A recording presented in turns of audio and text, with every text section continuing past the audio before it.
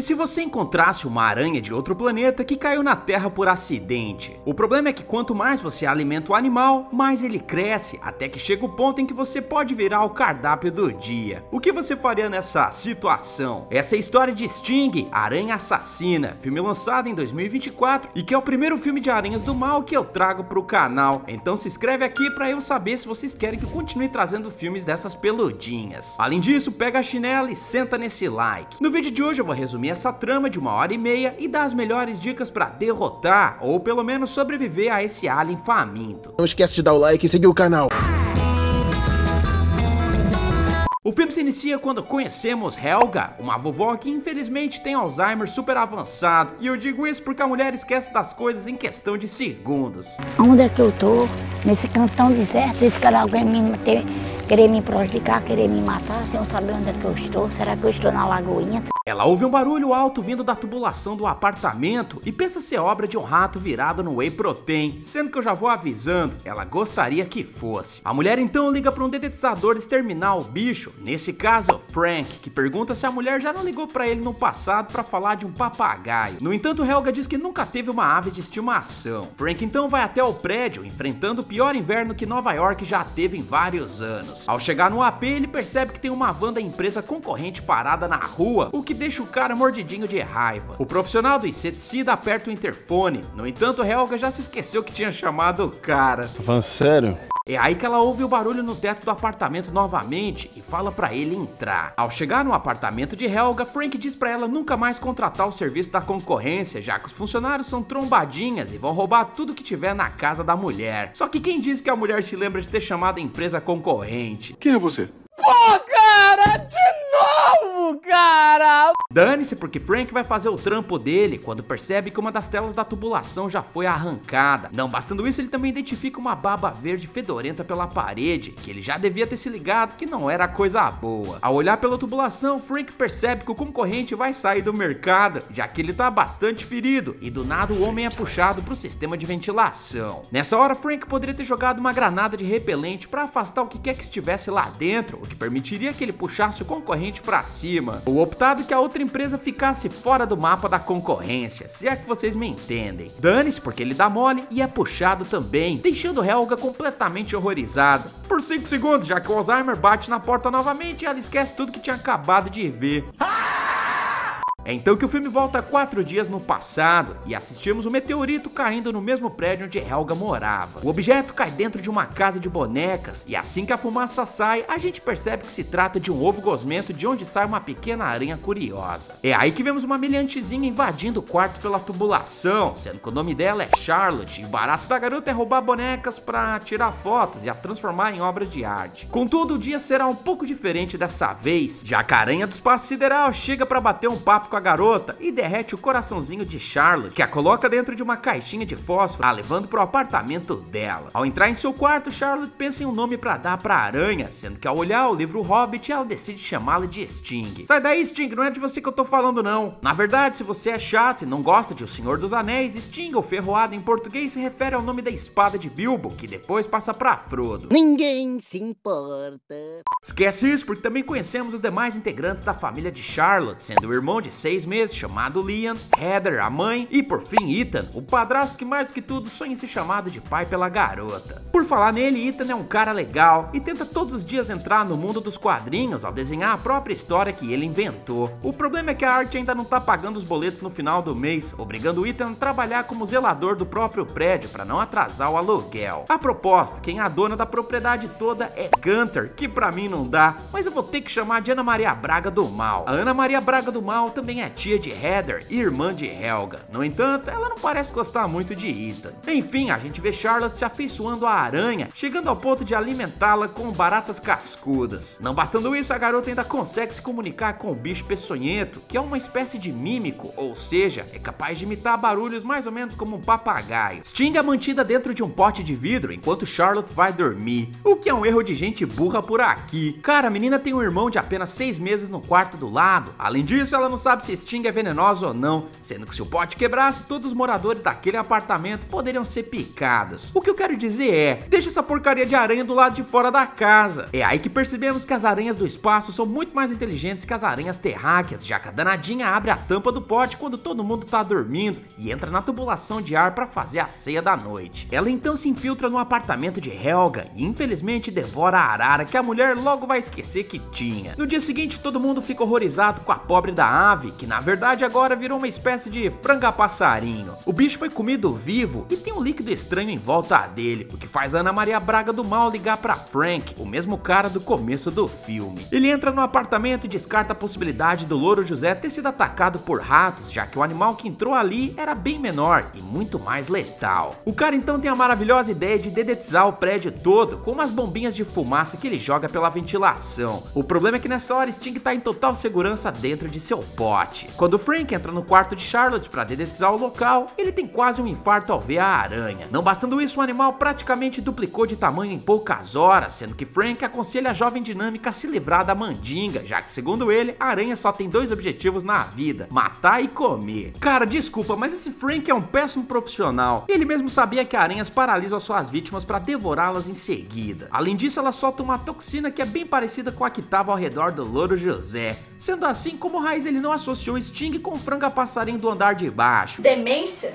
Outra coisa que Frank deveria ter feito seria avisar a Ethan sobre a enteada dele estar tá criando a aranha. Dessa forma, o zelador provavelmente não permitiria que ela crescesse perto do filho, colocando a aranha no destino certo, ser explodida com uma chinelada. Infelizmente, ninguém fica sabendo disso, sendo que Charlotte aumenta a quantidade de ração de Sting, já que a aranha tá sempre com fome e com muita vontade de devorar baratas. Por ironia do destino, uma bola de naftalina entra em contato com uma das teias do pote, a queimando bem na hora. Não bastando isso, a parada ainda causa pânico na aranha do espaço sideral, indicando que a substância é perigosa para ela. Charlotte percebe isso e a partir desse momento mantém a naftalina bem longe de Sting. Enfim, todo mundo vai dormir novamente e é aí que conhecemos outra moradora do prédio, nesse caso Maria, que perdeu a família no acidente e vem amenizando a dor ao tomar vários remédios tarja preta, o que a deixa com uma baita enxaqueca. Infelizmente, ela ainda tem a sensacional ideia de apimentar as coisas ao beber a marvada da cachaça junto, o que a faz acordar com uma dor de cabeça do cão. O problema é que Sting decide comer um prato diferente e pica a garota bem na cara, o que a paralisa aos poucos. Nessa hora, Maria ainda tinha movimento nas pernas para pedir ajuda dos vizinhos, bastando que ela saísse do apartamento e batesse na porta. Dessa forma, ela conseguiria manter distância de Sting, porém a mulher é lerda e fica olhando a picada no espelho do banheiro, até que a garota desmaia e bate a cabeça na banheira, o que praticamente a coloca de bandeja para ser servida. Sting chega junto e entra pela boca de Maria, se alimentando dela no que com certeza certeza é uma cena que vai me deixar sem dormir essa noite. No dia seguinte, Charlotte começa a ficar preocupada com Sting, já que a demônia tá crescendo mais rápido do que o Cocielo depois do suco. Ela então leva a aranha até Eric, outro vizinho, que por acaso é doutorado em biologia. Ele fica de boca aberta com a habilidade de Sting em imitar os sons de Charlotte, já que a aranha, segundo ele, não tem cordas vocais. É aí que o biólogo avisa Charlotte que aquela espécie pode ser venenosa, o que faz a garota concordar em deixar o bicho do mal com Eric para que ele pudesse estudar Sting e identificar a espécie correta dela. O problema é que o biólogo chega à conclusão de que Sting não é de nenhuma espécie catalogada pela ciência, o que praticamente o obriga a contar pra Ethan sobre o segredinho da enteada. Eric fala pro zelador que é melhor levar o bicho pro Ministério da Saúde, reforçando que a aranha parece ser extremamente carregada de veneno. Era exatamente isso que Eric deveria ter feito nesse momento, já que por ser doutorado em aracnologia, ele com certeza saberia o melhor caminho para se comunicar com o Ministério, mas não, porque o danado tem uma ótima ideia. Alimentar Sting com tudo que é bicho que ele tem no apartamento. Por quê?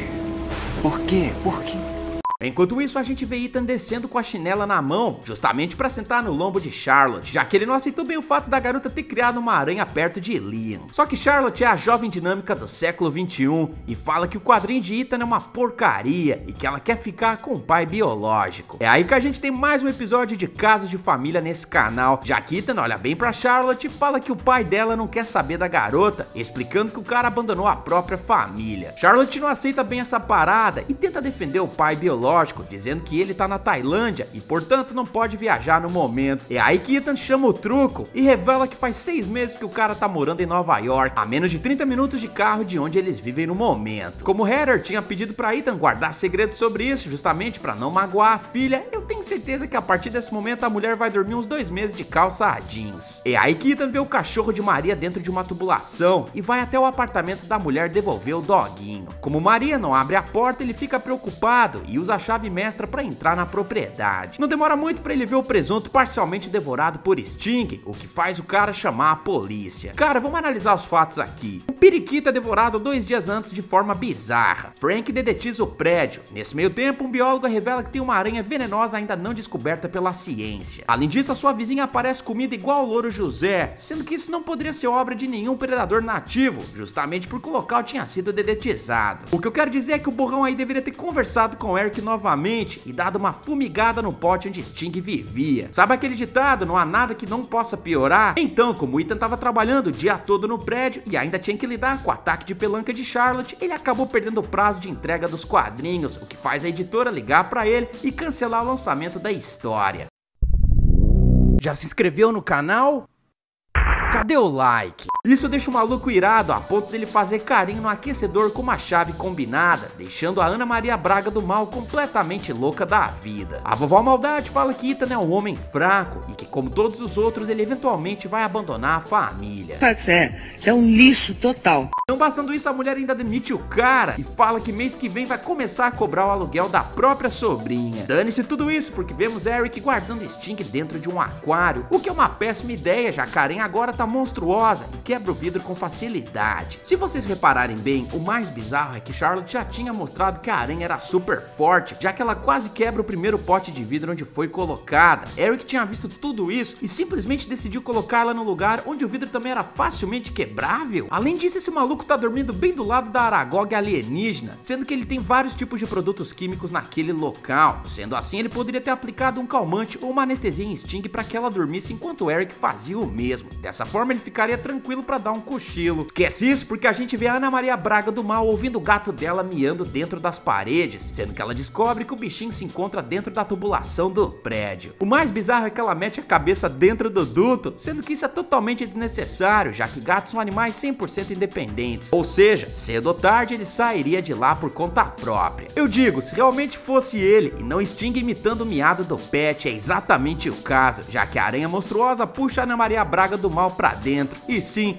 eu confesso que essa cena me deu um pouquinho de alegria no coração. Na manhã seguinte, o bicho pega, literalmente, já que vemos Ethan sendo paralisado pela aranha do mal na hora de uma DR que tava rolando com Heather. A mãe da família também não dá nem pro cheiro, já que assim como Ethan, ela é logo paralisada. Ethan tenta pedir ajuda pra Charlotte, só que a garota tá ouvindo Taylor Swift no fone e não percebe o festival da teia acontecendo. Quem dá um ligue nela é o doguinho de Maria, que tinha sido adotado temporariamente pela família. O Chihuahua recusa a comida e não para de latir, o que finalmente desperta a atenção da garota dinâmica. Charlotte cola a cabecinha no duto e é quase puxada por Sting, porém ela consegue bloquear a saída de ar com um armário. O problema é que o bicho é ligeiro e usa outra saída de ventilação para pegar Liam e o adorável doguinho, o que faz Charlotte perceber que vai ter que resolver a cagadinha que ela mesma causou. Primeiramente, ela tenta usar o celular para ligar para as autoridades, porém não tem sinal de internet, mesmo que para fazer uma ligação de emergência não seja necessário ter uma rede disponível. Como eu já disse em 23 vídeos aqui do canal, linhas de emergência como a da polícia, a dos bombeiros, não usam chip da operadora, e sim um canal de rádio especial para essas situações, o que significa que ela poderia ter feito a ligação sem problema nenhum. Dane-se porque a garota derrete várias bolas de naftalina dentro da água e coloca uma parte em garrafas de plástico e a outra numa arma de brinquedo. Ela então entra na tubulação de ar, o que eu não faria nem lascando. Naquele local confinado, Charlotte não teria espaço para fugir e nem mesmo conseguiria achar um bom ângulo para enfrentar a aranha, que infelizmente percorre distâncias a uma velocidade surpreendente. Portanto, teria prendido o celular em uma corda ou algum lençol improvisado e ligaria a câmera dele para filmar os dutos, o que faria eu encontrar o local exato onde Sting estava mantendo os presuntos. Outra coisa que eu faria seria pegar um desodorante em formato de spray e um isqueiro para montar uma espécie de lança-chamas improvisado. Aranhas são derrotadas facilmente se forem queimadas, sem contar que as chamas as mantêm afastadas de você. Dane-se porque ela vai pedir ajuda de Eric, que realmente não vai poder dar aquela forcinha, já que ele também foi capturado pela aranha e parece estar nas últimas. Então eu vou colocar esse cara na contagem de presuntos também. Charlotte então vai até o apartamento da avó, que surpreendentemente tá ali de boa, costurando como se nada tivesse acontecendo. A garota pergunta se ela viu alguma coisa sinistra recentemente, e a mulher revela que de vez em quando aparece um cachorro estranho perto dela. No entanto, quando Helga tenta fazer um carinho nele, o bicho sai correndo, o que é uma metáfora para uma aranha do espaço sideral que a velha não percebeu que não era um cachorro. Charlotte então se liga que a roupa da avó tá fedendo a naftalina, e é por isso que a aranha não chega perto da véia. Ela pede que a mulher fique ali e não tire aquele chale. Só que, mano,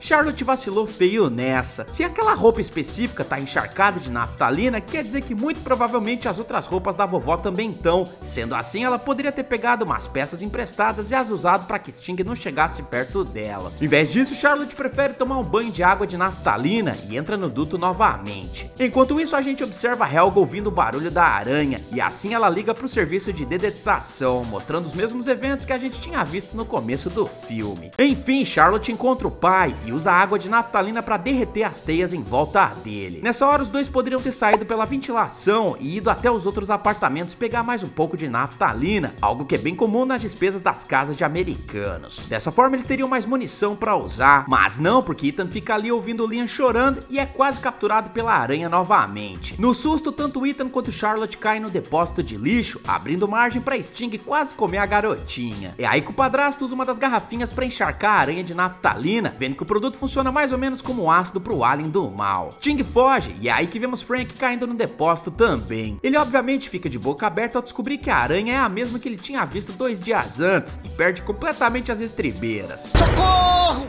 Socorro! Sabendo que a água de naftalina repele a aranha, ele toma um banho da parada, porém Sting tá com muita fome e desce para devorar o trio para dar burra. E aí que o dedetizador profissional decide atirar de volta, só que dessa vez com uma arma de pregos que fere Sting e a faz sangrar. Nessa hora ele poderia ter molhado os pregos dentro da naftalina, dessa forma um dos pregos poderia ter perfurado a aranha, a naftalina entraria diretamente na corrente sanguínea dela, o que com certeza finalizaria bem na hora. Percebendo que a aranha pode sangrar, ela também pode ser morta. It's bleeding!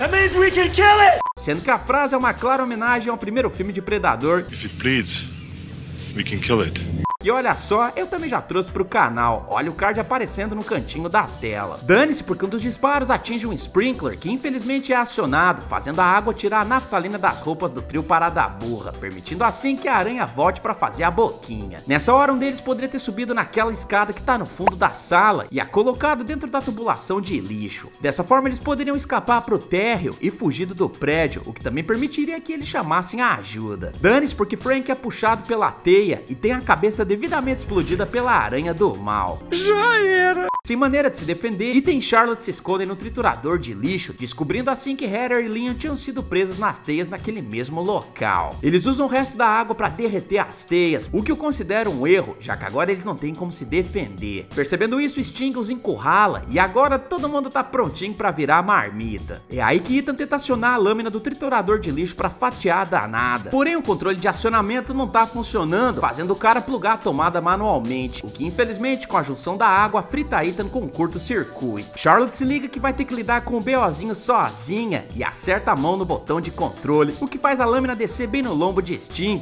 a finalizando definitivamente. Great success! Heather então faz respiração boca a boca em Ethan, o revivendo. Porém, enquanto a família se abraça, a gente vê que o problema só vai piorar, já que Sting tinha colocado vários ovos que começam a se abrir na mesma hora. Sting, a Aranha Assassina, teve boas avaliações da crítica e público, sendo que, na minha opinião, esse filme foi uma das melhores surpresas de 2024, levando em conta o gênero de animais peçonhentos que querem ferrar a vida das pessoas. A história tem vários elementos de outro filme que eu adoro, que é Alien o Oitavo Passageiro, tanto na questão do ritmo da trama, quanto no próprio design de Sting, que tem essa coloração preta e solta uma seiva pela boca, lembrando na hora o visual do xenomorfo. Além disso, o desenvolvimento dos personagens é bem feito e não demora pra gente se afeiçoar à família. O que eu mais curti foi a abertura do filme, já que a sacada dos roteiristas em usar a perda de memória de Helga foi incrível e eu realmente queria que eles tivessem colocado mais disso na trama. Por outro lado, o filme tem um ponto negativo, já que a produção não contou com um grande orçamento, o que acabou podando os efeitos especiais para criar o design da criatura, forçando assim o diretor a usar ambientes escuros e desfocar a lente da câmera para mascarar esse aspecto. Mesmo assim, eu acho que esse filme merece uma nota 7. Nas bilheterias, o longa fez cerca de 2.3 milhões de dólares, sendo que a gente não sabe exatamente quanto foi o orçamento. Mesmo assim, pode ser que a gente ganhe uma continuação no futuro, já que o longa ainda vai estrear em mercados importantes como os Estados Unidos e México. Agora eu quero saber de vocês, qual é o próximo filme de Aranhas do Mal que vocês querem ver aqui no canal? Deixa a sugestão aí nos comentários. Também siga a gente no Instagram da página ednerd.canal e no meu pessoal também, @eddebarros, pra gente trocar uma ideia. Além disso, considere fazer parte do clube de membros para ver os vídeos do canal sem propagandas, ter acesso a seus e figurinhas do terror e escolher o filme que você quer ver por aqui no futuro. Sem mais enrolação, bora pra contagem de presuntos. O total de corpítios em Sting foi de 5 presuntos, sendo que o troféu presunto de ouro vai pra Maria. Antes de vocês irem embora, dá o like e clica na playlist chamada Monstros Feios, onde tem vários vídeos de filmes como Anaconda, Primitivo, Tubarão e muito mais. Eu espero que vocês tenham gostado, vejo vocês no próximo vídeo e valeu!